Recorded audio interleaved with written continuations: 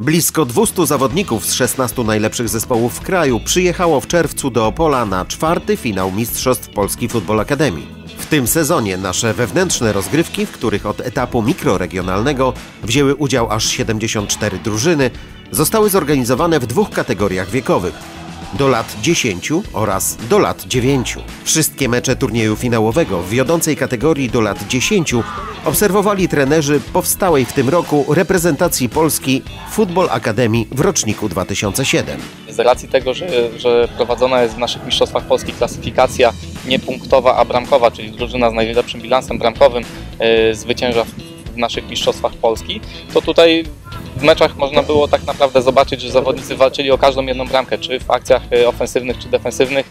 E, dzięki temu ten poziom, ten poziom rozgrywek był bardzo wysoki i tak naprawdę mieliśmy okazję oglądać dużo fajnych bramek, e, dużo składnych akcji, przede wszystkim bardzo dużo indywidualności, popisów technicznych naszych zawodników. Wieloetapowe rozgrywki o Mistrzostwo Polski Futbol Akademii to kolejna obok zgrupowań kadr regionalnych FA szansa dla naszych zawodników na zaprezentowanie swoich umiejętności pod kątem selekcji do reprezentacji Polski Futbol Akademii. Selekcja trwa i jesteśmy pozytywnie zaskoczeni, ponieważ pojawiły się nazwiska od menadżerów. Niestety nie mieliśmy okazji zobaczyć tych chłopców na pierwszej konsultacji i tutaj na Mistrzostwach Polski zostawili po sobie naprawdę fajne wrażenie. Mieliśmy przygotowaną listę zawodników yy, których oczywiście chcieliśmy obserwować.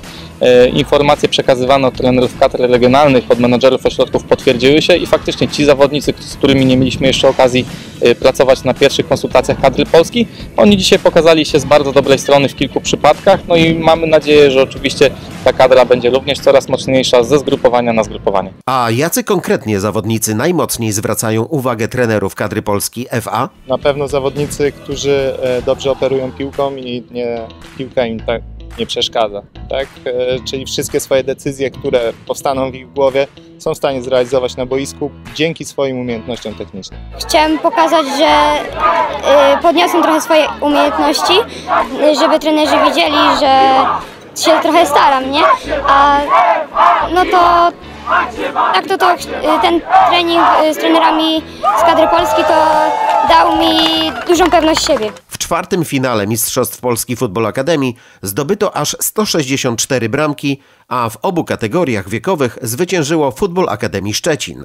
Pełną relację z naszego dorocznego piłkarskiego święta znajdziecie na naszej stronie internetowej, fanpage'u, na Facebooku oraz kanale Football Academy Channel na YouTubie.